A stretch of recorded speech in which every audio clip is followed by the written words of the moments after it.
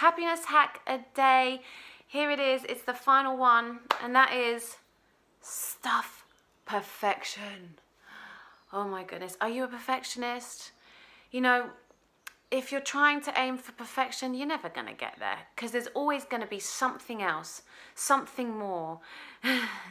and all that perfection does is really stop us from moving forward. Get yourself out there. Know that you can constantly make changes. And who really are you trying to be perfect for anyway?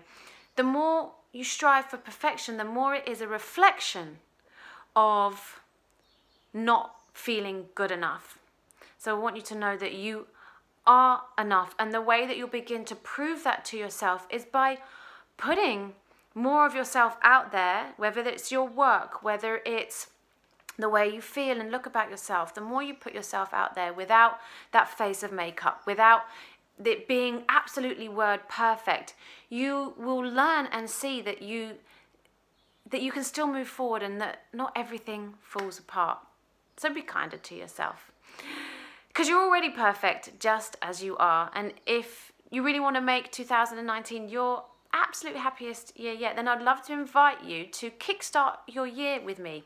My free five day program, the New Year Kickstarter, starts January the 5th. I'd love to see you there. For more info and to sign up now, the link's in this post. Bye for now.